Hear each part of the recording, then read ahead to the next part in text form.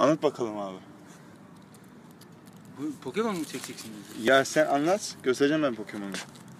Ya bak şimdi yaslandım klimaya çay içiyorum. Hı. Hem piyasayı kesiyorum böyle.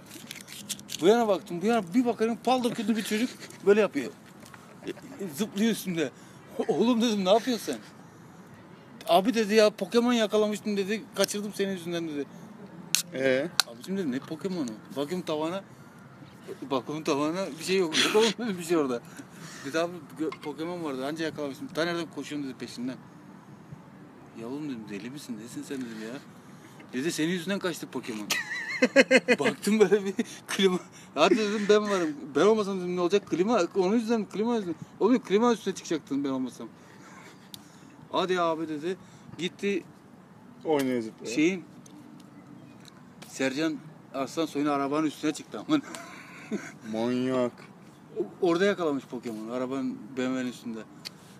Gittim hemen yukarı elimi yüzümü yıkadım dedim bismillah dedim ne oluyor ama.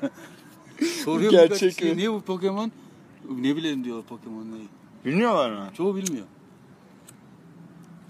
Sordum büyük insanlar o zaman. Büyük ya Osman. Yaş olarak. Osman abi. Osman, Osman'a şeye sordum. ya Osman abiye mi sordum Pokemon'u ya sucu. Allah Osman abisi nereden bilsin lan Pokemon'u? Ya kocaman çocuk çıktı tepeme. Pokemon yakaladım abi senin yüzünden kaçırdım diyor. ben o zaman